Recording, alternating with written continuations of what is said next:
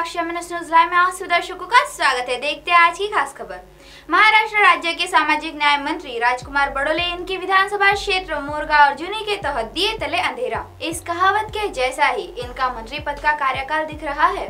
Bharatiya Janata party की केंद्र की सरकार और महाराष्ट्र राज्य की देवेंद्र सरकार बहुत ही शोरबाजी के साथ अपनी सरकार की बड़ी बड़ी डींगे हाँक कर मीडिया के सामने बता रहे थे कि देश का हर गाँव और कस्बा बिजली के साथ जोड़ दिया गया है। लगभग मोरगांव अर्जुनी तहसील से 18 किलोमीटर दूर और मंत्री राजकुमार बडोले इनकी निवास स्थान से 11 किलोमीटर दूरी पर परसोनी गाँव है।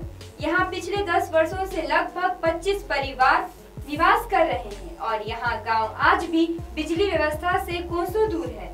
लगभग राज्य महामार्ग से 200 मीटर की दूरी पर यह गाँव है। यहाँ पिछले ही साल सरकार की ओर से पानी की व्यवस्था की गई है। जिसमें गाँव में ही एक पानी का हैंडपंप सरकार ने बना दिया है।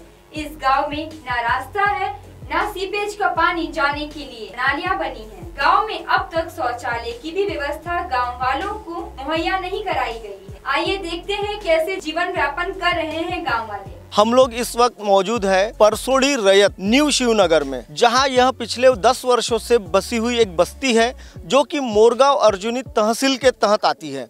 जैसा कि आप मेरे साथ देख रहे हैं, हम जैसा आपको अभी बताए हैं कि इस गाँव में अभी तक के बिजली बिजली नहीं पहुँच पाई है।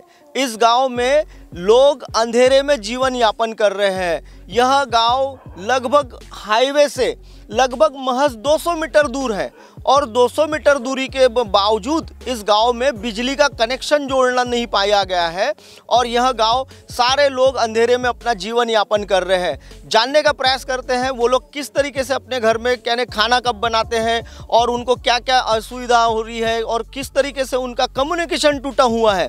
जबकि इस गाँव में लगभग दो मीटर दूर हाईवे है और यह गाँव कोसों दूर विकास से कोसों दूर है। यहाँ वाटर ड्रेनेज नहीं है और साथों साथ यहाँ सड़कें नहीं है। इस गाँव में हमारी यह गाड़ी बहुत बहुत ही मुश्किल से वो 200 मीटर का फासला तय कर पाई है। अब जानने का प्रयास करते हैं हम इस गाँव के कुछ लोगों से।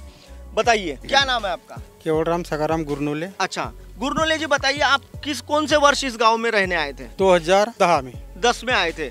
अच्छा जब इस गाँव में बिजली नहीं है अभी हमने देखा कि इस गाँव में कोसों दूर और विकास कोसों दूर है तो क्या यानी बिजली का कैसा क्या है? बिजली का बिजली नाही आहे बिजली आपला हे आपला काय तो विद्युत ऑफिसला गेलो होतो त्यांना तहसील आपला पत्र आहे म्हणून त्यांना नामंजूर केलं ना आम्हाला. पत्र आहे म्हणलं बिजली नहीं येऊ सका म्हणलं इस गाँव में बिजली नहीं आएगी? अच्छा बाकी चीज़ें जैसी सड़कें हो गई है सड़कें हो गई है फिर नाली हो गई है अच्छा पीने का पानी आ गया आपके गाँव में? हाँ, पीने का पानी तो अभी अभी हो गए अभी दो साल हो गए ये बोर लगाए तो। अच्छा। और बाकी साल में तो रोड से बाहर से पानी लाया था पीने का अच्छा। खाने का सब वापरन करने के लिए। यानी अभी पानी की सुविधा हुई है आपके गाँव में। अच्छा बिजली की सुविधा यानी पानी की सुविधा सरकार ने मुहैया करा दी तो बिजली क्यों नहीं करा पाई है? उसके पीछे का कोई कारण आपको बताया एमएससीबी विभाग वालों ने? नहीं नहीं नहीं कुछ नहीं बताया। अच्छा अब हम जानने का प्रयास करेंगे जो महिलाएँ यहाँ जिनको रात में कैसे खाना बनाती है क्या करती है उनसे भी जानने का प्रयास करेंगे। बताइए आप खाना वगैरह कितने बजे बनाते हैं? दिवसाला सहा वाजेच बनवतो शाम को छह बजे गाँव के लोग खाना बना लेते हैं क्योंकि सूरज ढलने के बाद इनके पास कोई साधन नहीं होता जो कि ये उजेले में ये कर सकते हैं। खाना वगैरह कितने बजे खा लेते हैं आप?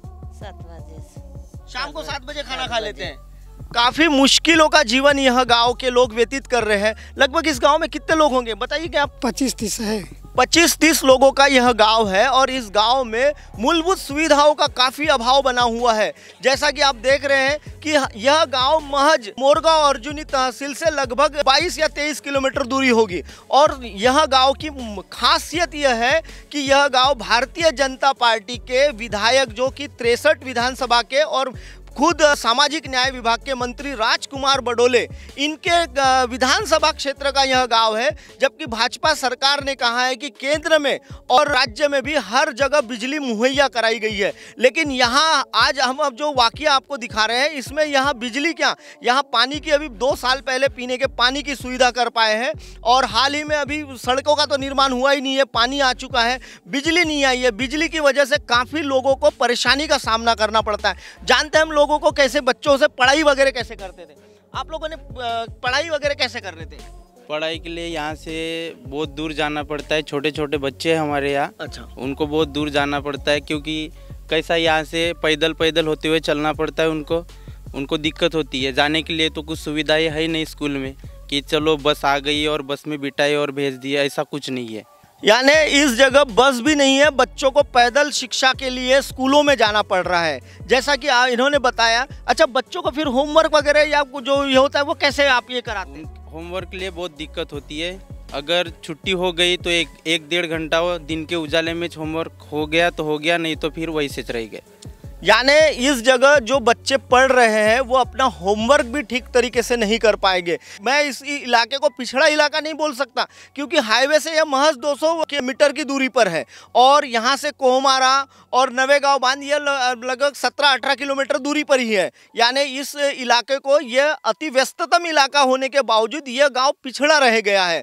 यानी भारतीय जनता पार्टी के जो मिनिस्टर है, वो देखिए उनका कितना इस गाँव की तरफ़ ध्यान है। जहाँ बिजली नहीं पहुँच पाई है। तो एमएनएस न्यूज़ लाइव की खबर देखने के लिए आज ही प्ले स्टोर से हिंदी ऐप डाउनलोड करें और इस चैनल को लाइक सब्सक्राइब और शेयर करना ना भूले। धन्यवाद।